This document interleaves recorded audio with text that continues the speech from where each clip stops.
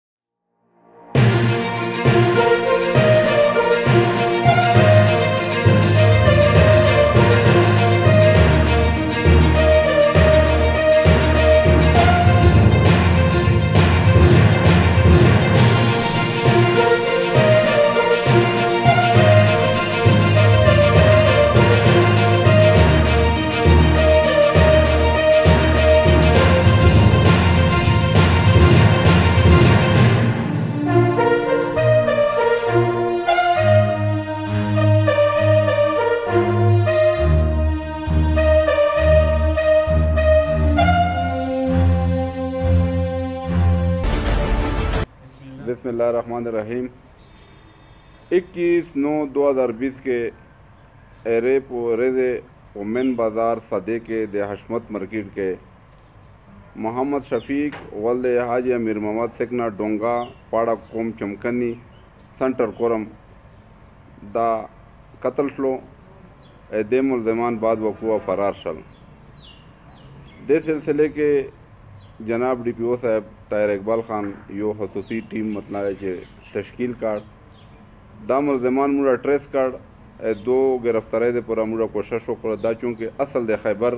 ډیسټریکټ سره تعلق سوتی ای دو مندې موږ الته هم چاپې ولګولې سنټر کورم کې مو چاپې ولګولې خو دو باد و کوې نه مطلعه چې لوړل